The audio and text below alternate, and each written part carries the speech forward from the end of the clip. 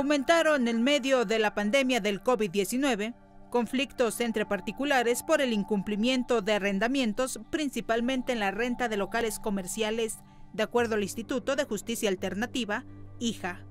Como en 40% en temas de arrendamiento. Es decir, ¿sabes qué? Dame un, una, un, término de gracia de unos dos meses o, eh, oye, pues no estoy teniendo ingresos, bájame el 40% de la renta o hasta el, eh, hasta el perdón de un mes de, de renta.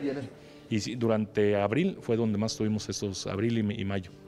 De acuerdo al IJA, el 82% de estos conflictos se resolvió con mediación. Y de renegociar el monto o, hacer parcialidades o eh, rezagar el pago.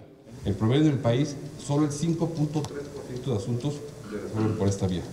De acuerdo al Censo Nacional de Impartición de Justicia Estatal 2020 del Instituto Nacional de Estadística y Geografía, Jalisco es el primer lugar en resoluciones judiciales a través de convenios por medios alternos.